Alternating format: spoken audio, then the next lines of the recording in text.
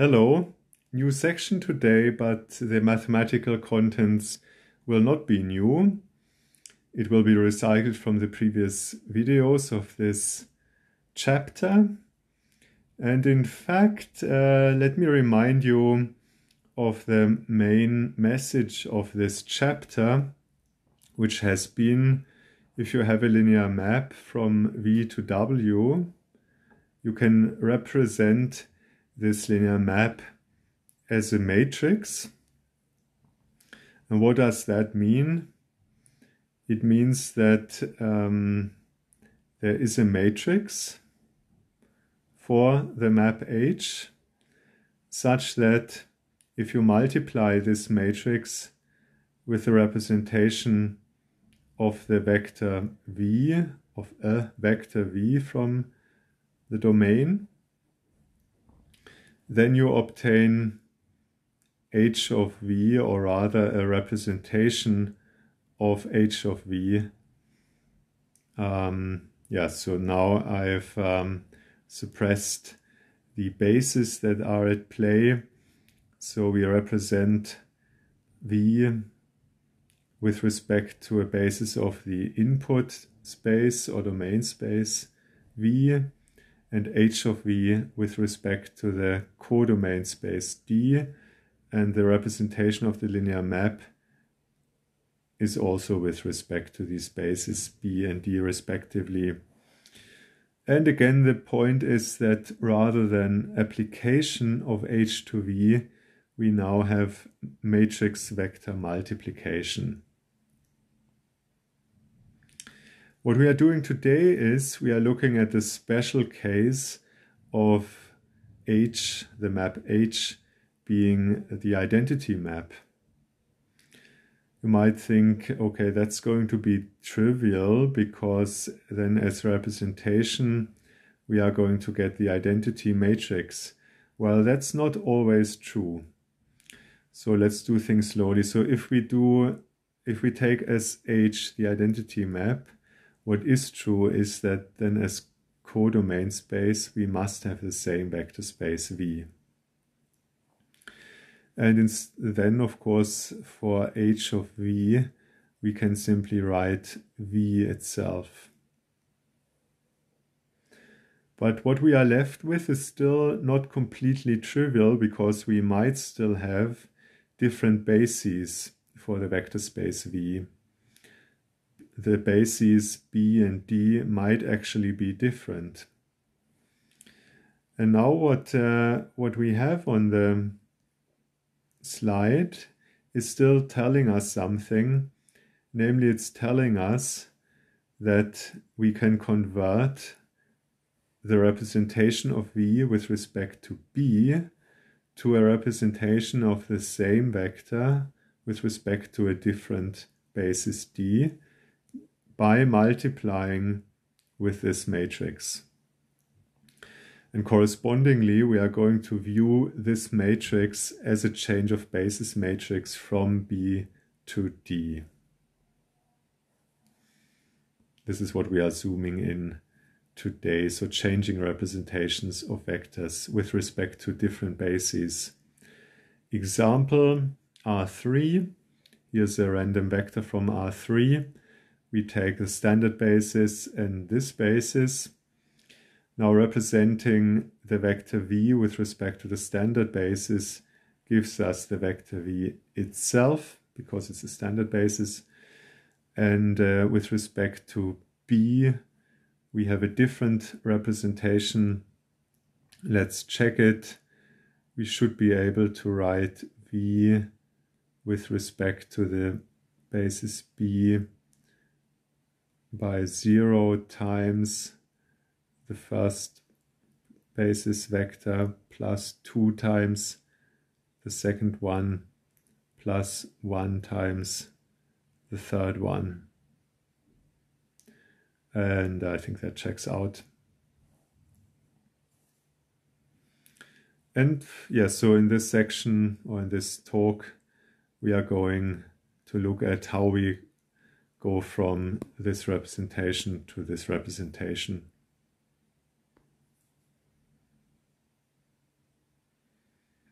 applying the previous program, we already know how to do this. So we take the um, basis vectors from B, they are beta 1 up to beta n. We put them through our map, which is now the identity map, and represent the result, so the beta i themselves, with respect to the new basis d. And this gives us some vectors, and we put these vectors as columns in our representation matrix. And uh, what is actually defined here is not the things here, they are already old. What is just defined in this definition is this term change of basis matrix. So we are now going to call the representation of the identity map with respect to the basis B and D. We are going to call this a change of basis matrix for bases B and D.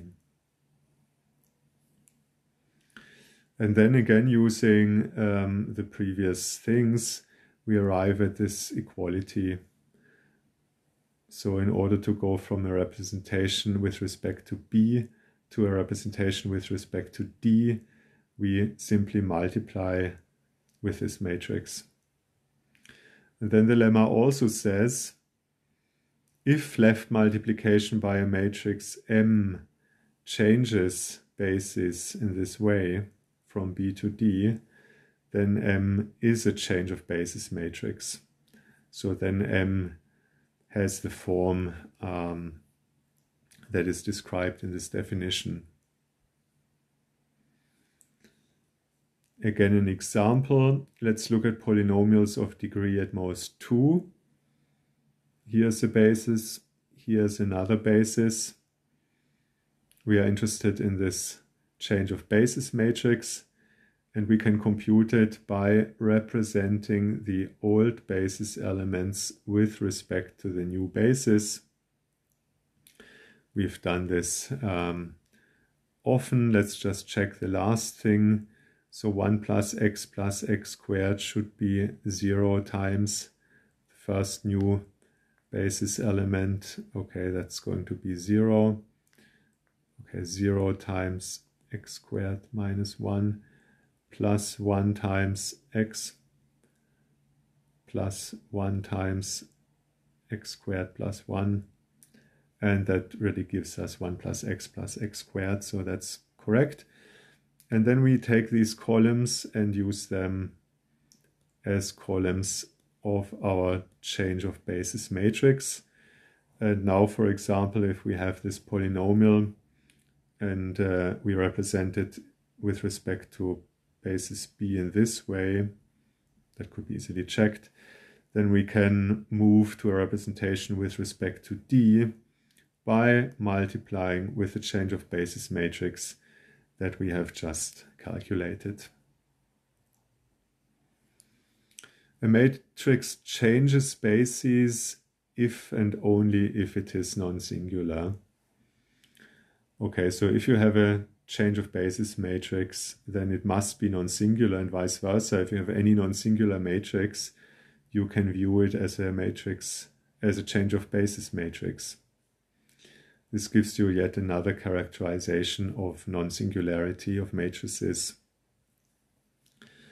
For an illustration of the proof, let's focus on the backwards direction, i.e. if you have a non-singular matrix M, then we want to view it as a change of basis matrix. Well, if it is non-singular, it can be decomposed into a product of elementary reduction matrices. We talked about this in the previous videos. These matrices Ri reflect steps of Gaussian elimination. And uh, now we show that each of the Ri changes basis. Okay, so for an illustration, let's take this Ri, which reflects a Gaussian elimination step that says add to row 3 minus 4 times row 1. And now we want to view it as a change of basis matrix. So we consider what it does to a generic vector R1, R2, R3, and we would view this vector as a representation of some vector with respect to some generic basis B. Okay, so far everything is uh, without any loss of generality. The only thing we have to check is that we can view this vector as the representation of the same vector v with respect to uh, a new basis. Okay, so first of all, this vector v, if it has these coordinates with respect to b, then we must have that v is r1 beta 1 plus r2 beta 2 plus r3 beta 3. And now how do we view this vector as the representation with respect to a new basis? Well, it's already given away here. So here is the proposed new basis. And is this vector really the representation of V with respect to the new basis? Well, you can just check.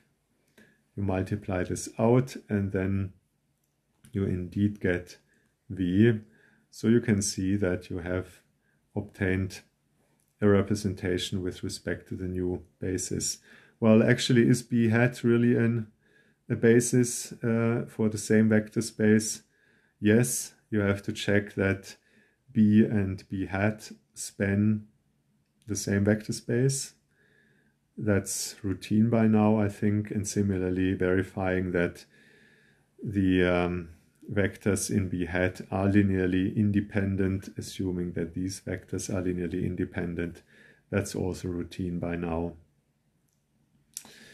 We arrive at this corollary. A matrix is non-singular if and only if it represents the identity map with respect to some pair of bases.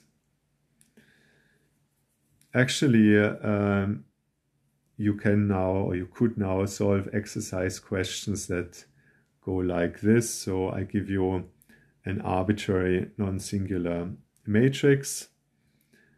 Um, and then I tell you, for example, mm, we want to view this as a change of basis vector, a change of basis matrix that changes basis from which basis to the standard basis.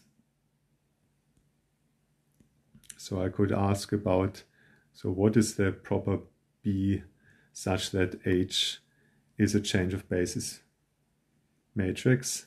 And I could also ask the other way around. So um,